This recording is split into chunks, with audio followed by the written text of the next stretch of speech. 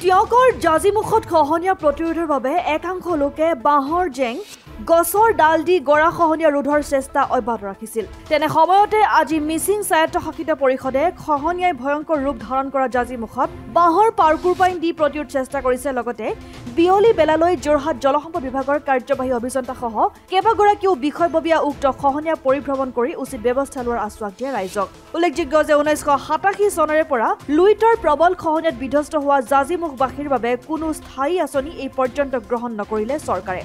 ইফালে বিগত বছৰবোৰত মিচিং স্বায়ত্তশাসিত পৰিষদে বিভাগক আৰু বিভাগে স্বায়ত্তশাসিত পৰিষদক দোষাৰোপ কৰি প্ৰকৃত দায়িত্বহীনতাৰ প্ৰমাণ দি আহিছে। এতিয়া প্ৰশ্ন হয় অভিযোগ প্ৰতি অভিযোগতে ব্যস্ত থাকিবনে চৰকাৰী পক্ষ নে সঁচাকৈ খহনীয়াৰ পৰা পৰিত্ৰাণ পাব জাজিমুখবাসী এক মাহৰ আগতে water research department executive engineer যোৰহাটৰ লগত আলোচনা কৰিছোঁ। তেওঁ কৈছে স্কিম পঠাইছোঁ আহি পাব।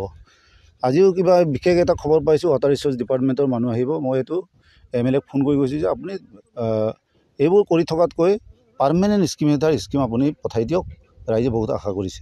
ব্ৰহ্ম ব্ৰহ্মপুত্ৰ নদীৰ ক্ষেত্ৰত তেওঁলোকৰ খেল নাই আৰু তেওঁলোকৰ অভিজ্ঞতা আছে নাই বা তেওঁলোকৰ সদিচ্ছা আছে নাই সেই কথাটো আমি নাজানো। আমি দেখিবলৈ পাওঁ তেওঁলোক সৰু সৰু নদী জান জুৰিবিলাক তিয়ং নৈ বুকদৈ নৈ তেনেকুৱা এটা ৰঙাজান তেনেকুৱা সৰু সৰু নদীবিলাকৰ কাম কাজবিলাক তেওঁলোকে কৰি আছিল অথচ বৃহত্তৰ এই অঞ্চলটোত খহনীয়া আজি স্বাধীনতা কালৰ পৰা চলি আছে এইটো আজিলৈকে তেওঁলোকে কাণসাৰ দিয়া নাই। আমি অনুৰোধ জনাইছোঁ তেওঁলোকে কাণসাৰ দিয়ক।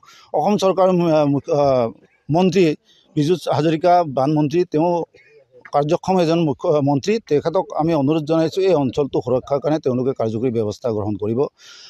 অসমাদিত্য